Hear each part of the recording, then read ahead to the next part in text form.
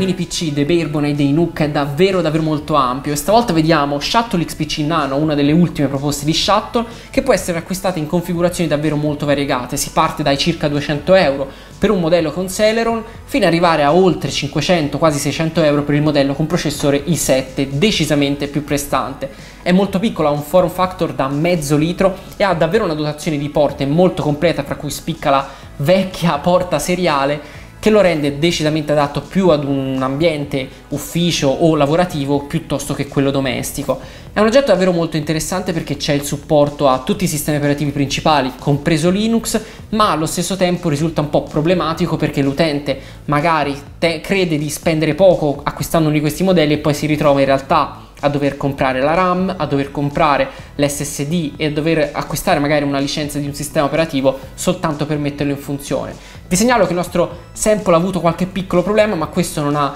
assolutamente avuto conseguenze sulla valutazione del prodotto che è, se l'è cavato più che bene sia nell'uso Office sia nell'uso multimediale. Un saluto al prossimo video per ridwall.com, Andrea Ricci.